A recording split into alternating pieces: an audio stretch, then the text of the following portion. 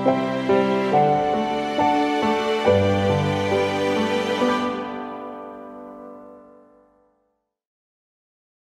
ਸ਼੍ਰੀ ਅਕਾਲ ਜੀ, ਮੈਂ ਹਾਂ ਰੇਡੀਓ ਵਾਲੀ ਕਵਰ ਐਂਡ ਇਹ ਹੈ ਦਿਲ ਦੀ ਕਲਮ ਤੋਂ ਤੇ ਆਈ ਹੋਪ ਤੁਸੀਂ ਸਾਰੇ ਕੈਮੋ ਕੈਮ ਹੋ ਵਿਦਆਊਟ ਵੈਮ ਹੋ। ਅੱਛਾ, ਜਦ ਦਿਲ ਕਿਸੇ ਨਵੀਂ ਥਾਂ ਤੇ ਪਹੁੰਚਦਾ ਆ, ਜਦ ਵੀ ਦਿਲ ਕਿਸੇ ਨਵੀਂ ਥਾਂ ਤੇ ਪਹੁੰਚਦਾ ਆ, ਤਾਂ ਸਭ ਤੋਂ ਜ਼ਿਆਦਾ ਉਹ ਕੀ ਮਿਸ ਕਰਦਾ ਆ? ਮੰਮੀ, ਪਾਪਾ ਫੈਮਿਲੀ ਘਰ ਨੂੰ। ਹੈ ਨਾ ਸੋ ਅੱਜ ਮੈਂ ਸ਼ਮੀਲ ਜੀ ਦੀ ਲਿਖੀ ਹੋਈ ਇੱਕ ਪੋਇਮ, ਤੁਸੀਂ ਸ਼ਮੀਲ ਜੀ ਨੂੰ ਸੁਣਦੇ ਹੋ ਗੁੱਡ ਮਾਰਨਿੰਗ ਟੋਰਾਂਟੋ ਦੇ ਵਿੱਚ ਐਂਡ ਉਹਨਾਂ ਦੀ ਇਹ ਲਿਖੀ ਹੋਈ ਕਿਤਾਬ ਵੀ ਹੈਗੀ ਹੈ, ਜਿਹਦਾ ਨਾਮ ਹੈ ਤੂਫ। ਸੋ ਇਸ ਕਿਤਾਬ ਦੇ ਵਿੱਚ ਮੈਨੂੰ ਇੱਕ ਪੋਇਮ ਮਿਲੀ, ਜਿਹਦਾ ਨਾਮ ਹੈ ਪਿਤਾ। ਐਂਡ ਮੈਨੂੰ ਬਹੁਤ ਪਿਆਰੀ ਲੱਗੀ।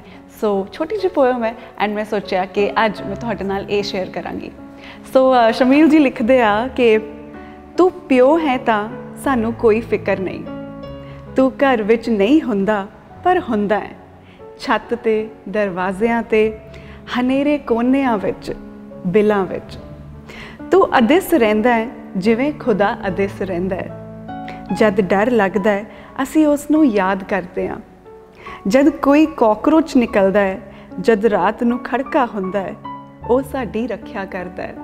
ਕਾਕਰੋਚ ਤੋਂ, ਹਨੇਰੇ ਦੇ ਖੜਕਿਆਂ ਤੋਂ। ਪਿਤਾ ਦਿਸਦਾ ਨਹੀਂ ਹੈ, ਚੁੱਪਚਾਪ ਰਹਿੰਦਾ ਹੈ। ਦੀਵਾਰਾਂ ਨਾਲ ਛੱਤਾਂ ਤੇ ਦਰਵਾਜ਼ਿਆਂ ਅੱਗੇ ਖੜਾ ਰਹਿੰਦਾ ਹੈ, ਹਿਫਾਜ਼ਤ ਲਈ। ਕਿੰਨੀ ਪਿਆਰੀ ਪੋਇਮ ਸੀ, ਹੈ ਨਾ?